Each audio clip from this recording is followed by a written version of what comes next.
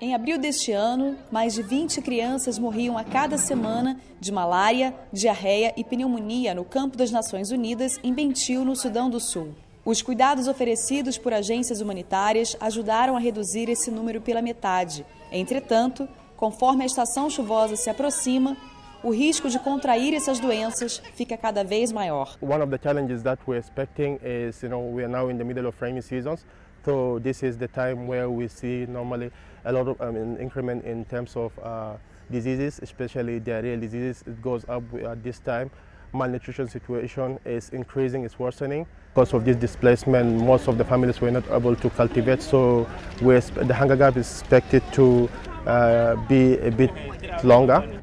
Voluntários e agentes de saúde procuram educar a comunidade sobre como evitar a desnutrição e manter as crianças saudáveis durante o período das chuvas.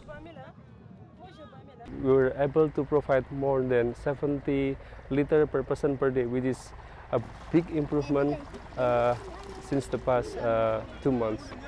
And then in terms of uh, the sanitation uh, facilities, now we are able to provide uh, one latrine for 70 uh, people, which is still below the standard. And now we are still trying to improve more latrines and also we try to build more for the affected population. Centro de Informação das Nações Unidas para o Brasil, UNIC Rio.